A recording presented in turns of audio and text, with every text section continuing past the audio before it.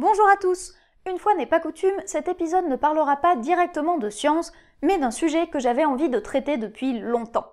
J'ai fini par me décider suite à une blague que j'ai faite sur Twitter et qui a eu beaucoup plus de succès que je ne l'avais anticipé.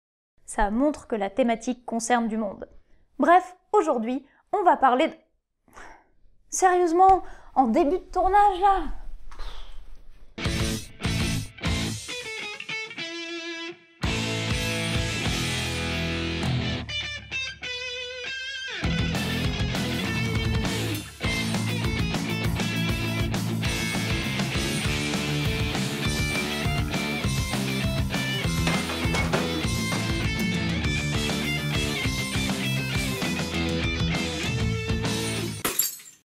Des fois, dans la vie, on rate des trucs. Et des fois, on fait des choses qui devraient très bien fonctionner, mais qui foirent, sans qu'on ne comprenne forcément pourquoi. Ça arrive plus ou moins souvent, c'est plus ou moins grave, mais de toute façon, il faut apprendre à faire avec. Personnellement, il y a eu un moment dans ma vie où ça a été particulièrement difficile, pour deux raisons. La première, c'est que les échecs s'accumulaient dans un domaine qui me tenait vraiment à cœur et qui occupait la plupart de mon temps, la seconde, c'est que je pensais que ce n'était pas normal, et donc que c'était en grande partie de ma faute. Ce moment, c'est celui où je faisais de la recherche fondamentale, et plus particulièrement ma thèse. Et c'est en pensant à toutes les personnes qui sont aujourd'hui dans la situation qui a été la mienne que j'ai eu envie de faire cette vidéo, même si je suis sûre qu'elle servira bien au-delà des laboratoires. Parce qu'en fait, se tromper, c'est normal. Je vais parler de ce que je connais, c'est-à-dire la recherche en sciences expérimentales, mais je vais utiliser un vocabulaire générique et je suis sûre que vous pourrez extrapoler à votre propre domaine. La seule façon de ne rien rater, c'est de ne rien tenter. Ça a l'air bateau comme phrase, mais il n'empêche que c'est vrai. Le tout est de savoir, dans un domaine donné, à quel point c'est fréquent de se louper. J'ai un doctorat en biologie cellulaire et moléculaire, et je pense que quand j'étais en thèse, je faisais au moins une petite bêtise par semaine. Disons une moyenne à peu près tous les mois, et une grosse peut-être tous les deux ans. Sans compter les expériences qui rataient sans que ça ne soit de ma faute. Si on ajoute à ça qu'une partie de mes manips servait à produire des outils ou à faire des tests, je n'obtenais pas si souvent que ça des résultats importants et exploitables. Du coup, chaque bêtise, même si pas très grave, me donnait un fort sentiment d'échec. Dès que je ratais un truc, que ce soit rattrapable ou non, j'avais l'impression d'avoir perdu du temps, de l'énergie et de l'argent du laboratoire, alors que les financements n'étaient pas infinis, que mon contrat avait une date de fin et qu'à chaque instant, quelqu'un ailleurs dans le monde risquait d'avancer plus vite que moi sur la même thématique et de me scooper. C'est-à-dire, en jargon de chercheur, de publier avant moi des résultats identiques aux miens. Ce qui est très bien en termes de reproductibilité et de fiabilité des résultats scientifiques, mais désastreux en termes de reconnaissance par les pairs, parce que celui qui arrive en second publie dans de moins bonnes revues et n'a pas du tout la même visibilité que celui qui arrive en premier. Bref, que ce soit vrai ou pas, j'avais la sensation de perdre à la fois du temps et de l'argent, et j'ajoutais ma propre pression à celle de ma hiérarchie. Donc mes bêtises me paraissaient graves. Et elles étaient d'autant plus difficiles à gérer que, comme j'en avais honte, je n'en parlais pas à mes collègues et peu à mon entourage qui auraient de toute façon eu du mal à se les représenter. Vous sentez venir le syndrome de l'imposteur là? Hmm. Alors qu'en fait, il y a un truc qu'on pourrait tous faire pour limiter ce genre de dégâts. Dédramatiser les erreurs. Vous ne parlez pas de vos bourdes parce que vous en avez honte. Ok, vos collègues font tous pareil. Du coup, vous avez l'impression que eux ne se plantent jamais et inversement. Forcément, si chacun garde ses erreurs pour lui, c'est difficile d'évaluer le point auquel il est normal d'en faire. On va nécessairement sous-estimer la fréquence de foirage et penser qu'on se plante plus que la moyenne. Bon, après, c'est facile de dire qu'il faut dédramatiser les erreurs en théorie, mais ça l'est beaucoup moins d'arriver à la pause café en disant « Ah là là, si tu savais comme j'ai merdé ce matin !» et d'assumer le regard des collègues.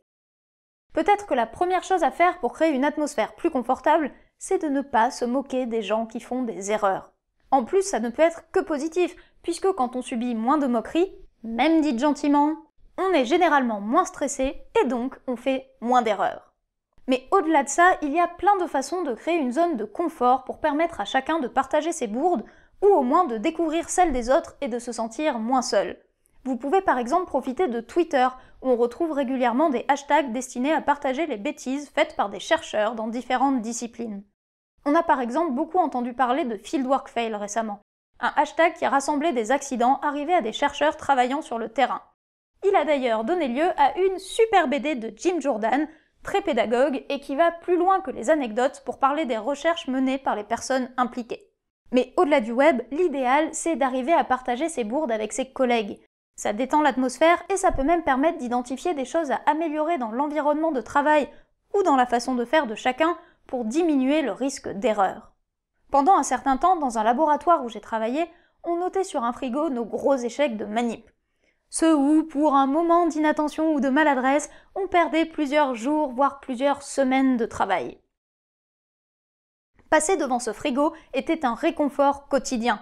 Ça rendait les petites erreurs moins graves en comparaison, et quand on ratait quelque chose au point de pouvoir l'écrire sur le frigo, on se rendait compte que ça n'arrivait pas qu'à nous. Bon, peut-être que vous êtes en train de vous dire que je suis bien choupie avec mes incitations à la pensée positive, mais qu'il n'empêche que non, tout le monde ne fait pas de bourde, ou alors pas autant que vous. On va éviter de se lancer dans un concours de bourde, ce n'est pas le propos. Mais je voulais vous montrer que si, tout le monde se plante parfois en donnant la parole à un individu qui a beaucoup été qualifié de parfait. Ce qui ne l'a pas empêché de rater des trucs dans une mission ultra chère ayant nécessité des années de préparation et le travail de plusieurs centaines voire milliers de personnes. En novembre dernier, j'ai été invité par le CNES, le Centre national des études spatiales, à visiter le CADMOS, ce centre d'aide au développement des activités en micropesanteur et des opérations spatiales, basé à Toulouse, était notamment impliqué dans le pilotage, voire la conception, de plusieurs des expériences menées par Thomas Pesquet pendant la mission Proxima. On reparlera de certaines de ces expériences dans d'autres vidéos. Si je mentionne cette visite aujourd'hui, c'est parce qu'elle a aussi été l'occasion de découvrir l'envers de la mission Proxima. Car le fait qu'elle ait été une réussite totale sur le plan expérimental ne veut pas dire que tout s'est passé exactement comme prévu. Par exemple, en nous présentant l'équipement MARES, Patrice Benaroche, responsable de la mission Proxima au CADMOS, nous a expliqué que le montage de cette machine destinée à la recherche sur la physiologie a été légèrement compliqué par la micro-pesanteur.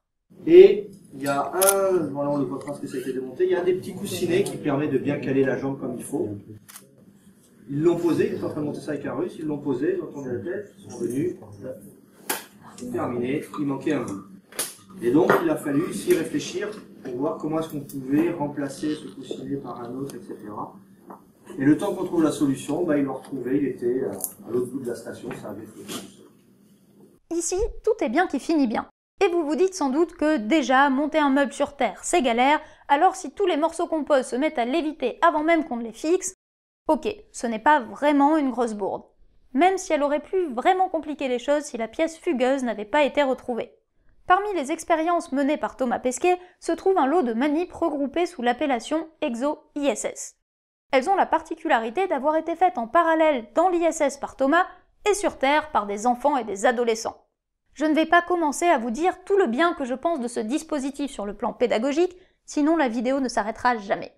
Mais si on demandait son avis au principal intéressé, est-ce que tout s'est déroulé comme prévu? Même si j'étais pas aussi fort que les élèves parce que j'arrivais pas à avoir les, mêmes résultats. Tu sais